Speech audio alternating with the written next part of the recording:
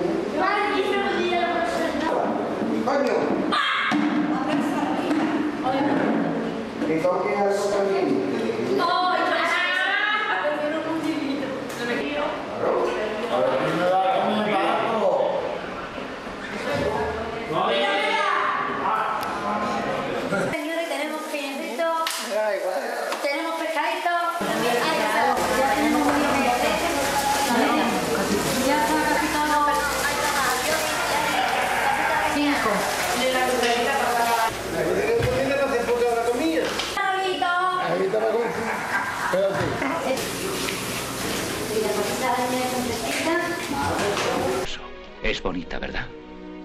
La ciudad de San Juan de Dios, única en el mundo. Un sueño que se ha puesto en pie esta mañana. Miles de niños corriendo y gritando por estas avenidas.